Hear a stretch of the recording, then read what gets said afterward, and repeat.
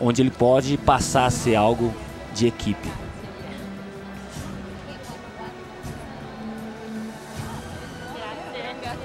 Aproveitar, Carlos Fernando, o espaço aqui para mandar um abraço para o Sérgio Luiz, Diego Gonçalves, Franciele Genka, o Keno Boricawa, o Alan da Silva, Volsky, Volsky que está aí acompanhando o martelo, a Márcia Lopes, Ludmila Oliveira, Márcia Cune, Veleda Minervini, Nuredine Abed, Vanderly Marchiori, o Mar, a Mônica Araújo, Renata Miyamoto em especial, a Heloísa Lages e Joel Lucas que estão acompanhando aí a transmissão ao vivo aqui no Band Esportes. É, na comunidade Cleberson é, Yamada, Atletismo com Cleberson Yamada, já temos lá um post com o horário das provas. Quem quiser pode participar ao vivo da transmissão pela comunidade Atletismo com Cleberson Yamada. Muito bem, vamos ouvir é, respeitosamente o hino da Itália.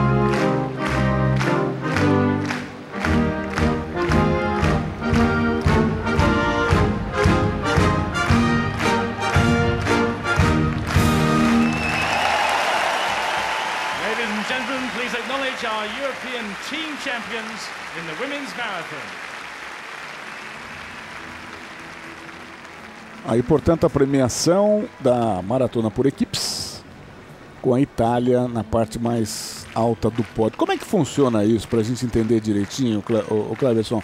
Cada uma corre um percurso ou é, todas têm que correr os 42 quilômetros e 200 metros e aí você vai somando os pontos da chegada de, de cada uma delas, tirando uma média. É, como é que funciona na prática isso? Na verdade, assim, é, todas as atletas correm a maratona do Campeonato Europeu representando individualmente seu país. Individualmente, os 42, e, 195. E aí somam-se os melhores resultados. Ah, perfeito. Somam-se os melhores perfeito, resultados. Perfeito. E aí, dessa forma... Ah, tá. Eu imaginava que, por exemplo, com quatro atletas, cada uma corresse, digamos, 10 quilômetros para entregar os 42, 10 e pouquinho mais ou menos para chegar nos 42. Não é assim. Você tem que correr a maratona inteira. Todas elas correm isso, todas elas correm perfeito, a maratona. Perfeito. Bom, agora nós vamos para o revezamento masculino. Também são duas séries. São duas séries. Vamos então para os balizamentos, começando pela Itália. Aliás, vamos ver aqui como é que tá. Raia de número 1. Um. Foi a Ucrânia.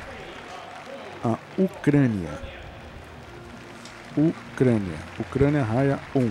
Confesso que tenho que trocar os papeizinhos. É, tá tudo trocado. A raia 3 foi Estônia, agora a 4, a Grã-Bretanha, uma das favoritas, Carlos Fernando, porque tem o Wellington abrindo, o Aiknis correndo também.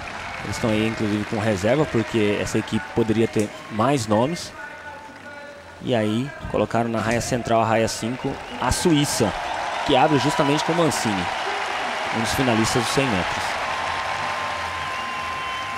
Bom, então vamos lá, me ajude aí, Cleberson. A Ucrânia está na 1. Ucrânia. Essa aqui já estamos na. A, a Suíça é a 5. Finlândia é a 6.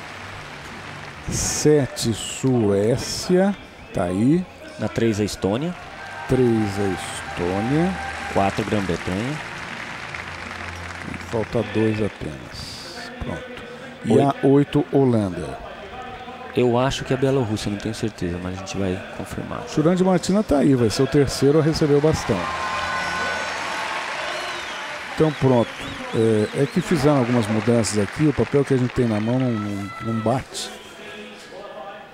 E a Turquia está na, na raia 2. Pronto, Turquia. Vamos lá.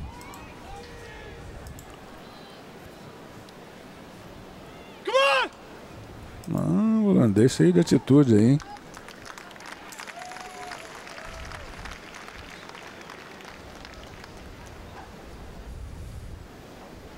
Posicionamento exato né, onde ele tem que colocar a mão.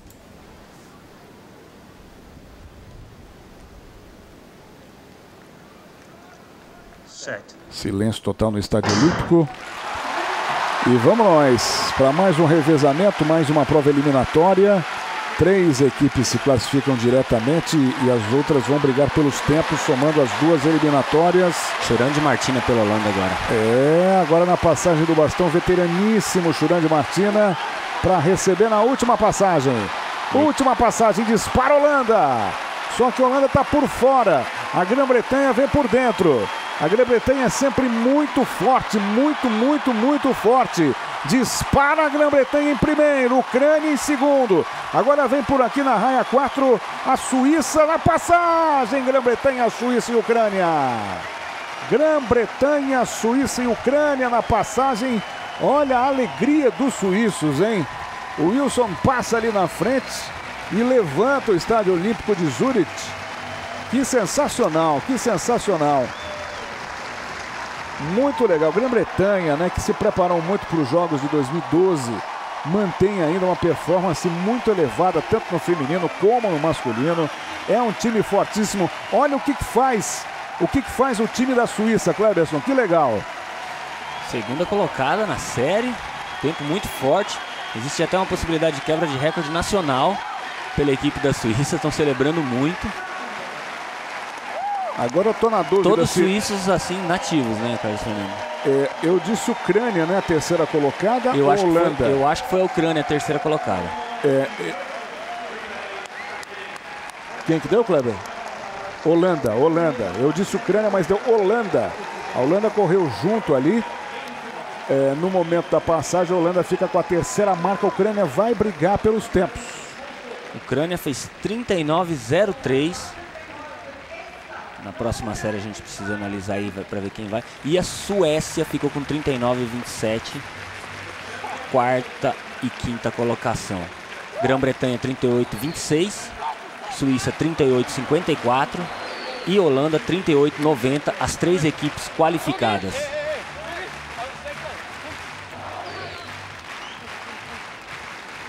O, Kleberson, a gente fala muito em legado material, né? Mas veja o legado esportivo que deixou a, a Inglaterra após os Jogos Olímpicos de 2012, né? Ontem a gente falava, inclusive, é, que mês a mês eles mandam mensagens né, para todos que participaram direto ou indiretamente da cobertura dos Jogos Olímpicos, dizendo quanto que eles estão devolvendo de dinheiro, o que, que eles têm feito para melhorar o esporte. E a gente vê como os atletas da Grã-Bretanha aparece no cenário a força, né, de, de, que sempre foi uma tradição, mas que melhorou muito depois aí dos, dos Jogos Olímpicos, para Sebastian Coe, inclusive, se levantar ali no meio da, da arquibancada e prestigiar os atletas de seu país. Tá lá, Sir Sebastian Coe. Grande responsável pela organização dos Jogos Olímpicos de Londres, inclusive. Grã-Bretanha, Suíça e Holanda. A Ucrânia chegou em quarto, vai brigar pelos tempos. E a Suíça quebra o recorde nacional, por isso, tanta comemoração pela equipe da Suíça. Essa equipe é agora a nova recordista nacional do revezamento 4 por 100. Opa, que legal! Chegamos aqui no salto com vara, uma das modalidades mais bacanas, mais difíceis e que é, para nós brasileiros né, ficou muito é, patente aí nas últimas Olimpíadas com o extraordinário trabalho do Elson e, e toda a sua equipe colocando não só a Fabiana Murer, mas muitos atletas do masculino e do feminino que tomaram gosto pelo esporte. Quer dizer, o Brasil hoje já é uma realidade também nessa modalidade, graças ao trabalho heróico né, do, do Elson, que sempre lutou muito para que esse esporte se transformasse no que é hoje.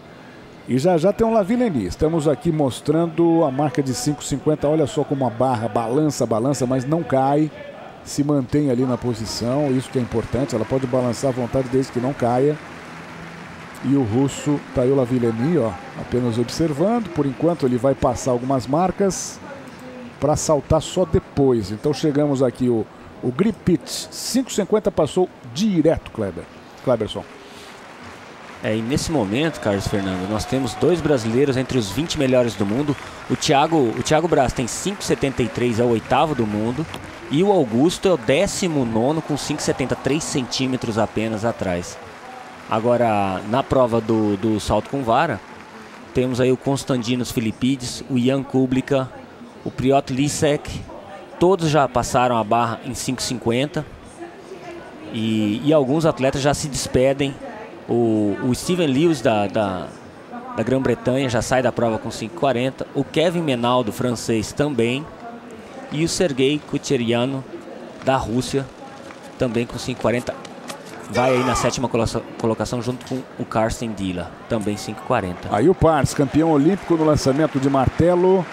Boa, boa, boa marca do Pars, hein? Esse aí é o polonês. Vamos só ver depois se o Pars conseguiu superar a marca. Probleminha na geração do nosso sinal via satélite. Agora sim, já imagens para você. É o momento que ele faz o lançamento. Olha só como o martelo cai ali na zona de aterrissagem. Não chegou a 80, né? Passou ali de 79 alguma coisa. O Pars fica meio que se lamentando. Vamos ver sua marca que ele conseguiu treinador ali na arquibancada torcendo para que o Pars é, ainda é segundo, o, Cleberson, 78-45. 78-45 a marca do Pars. Não chegou nem a 79. E se mantém na liderança o Pavel Fajdek, ele que havia cometido duas, duas faltas, né? E estava ameaçado aí de sair da prova, acabou fazendo 78 para ir para a liderança. E agora continua muito bem com essa marca Vamos para a segunda bateria agora no revezamento. Veja lá, Portugal, Polônia, Romênia, França, Alemanha, Espanha, Itália. E a Lituânia para fechar. Pronto. Então Portugal, raia de número 1. Um. Nesse instante o atleta polonês vai ser apresentado na raia 2. São os atletas de explosão, né? Que dão start, dão a largada, puxam revezamento. Romênia, raia 3. A França sempre muito forte, vem na raia de número 4. Vincent. E o Lematre será o segundo, hein? Christophe Lematre, o segundo a receber o bastão. Agora a Alemanha, raia de número 5. Daí o Christophe Lemaitre, está preparado um pouco mais à frente para receber o bastão. Será a primeira passagem. Alemanha, raia de número 5. Que vem com o finalista Julian Ruiz como grande estrela aí abrindo o revezamento. O Royce, né? Royce. É isso. Royce na raia de número 5, vem ele aí. Espanha agora raia 6.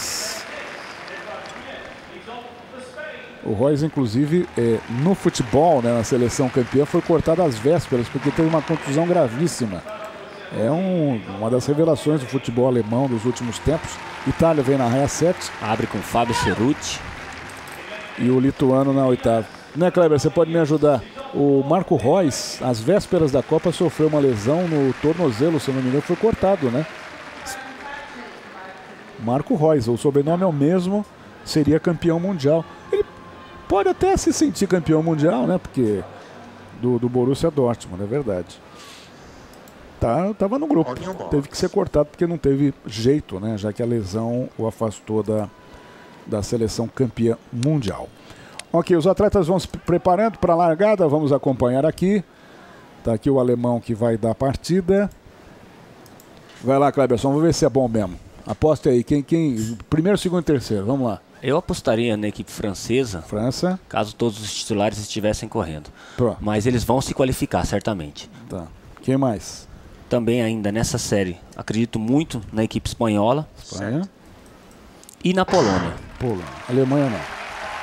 A Alemanha tem uma equipe muito forte, né? Tem grandes possibilidades também, mas Não sei, não, não, não, não tem apresentado assim. Olha lá, Vileni. Oh, perdão, o oh, Vileni, coisa. Opa, Olha, caiu um lá. O Lematre, Lematre, Lematre, Lematre tem que fazer a passagem do bastão. Deu, já deu certo. A França vem mais atrás. E a Alemanha está na frente, hein, Carlos Fernando? A Alemanha está na frente. E bem Vamos na acompanhar. frente da equipe francesa. Atenção, vamos lá. A Alemanha tá impossível. Depois que ganhar a Copa do Mundo aqui, depois de passar aquele tempo todo na Bahia, vem com uma felicidade sem tamanho. A Alemanha passa em primeiro.